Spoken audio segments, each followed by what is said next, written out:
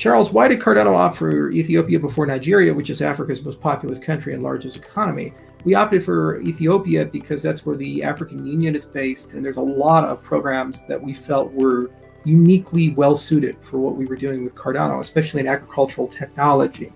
Uh, there's a nice ICT base in Nigeria, and frankly, you do Ethiopia, it's very easy to expand into Kenya and to Nigeria. And those four countries alone constitute 400 million people. It's a big chunk of the continent, about 40% of the population. My director for African operations is half Ethiopian uh, and half English, and so uh, it was a, it was kind of an easy fit. We understood what we were getting into. We saw the dynamics of the country. The other thing is Ethiopia is the only country in the world currently led by a cryptographer.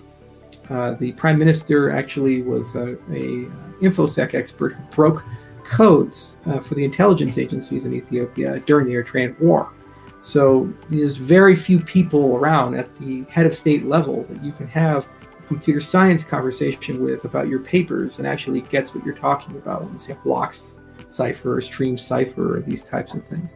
So it was a good combination of, of just luck and coincidence combined with the right environment and population, and also Ethiopia, very pan African view. So once you have a solid base of operations, it's incredibly easy to go to Kenya and Nigeria and Ghana and Rwanda and Uganda and so forth.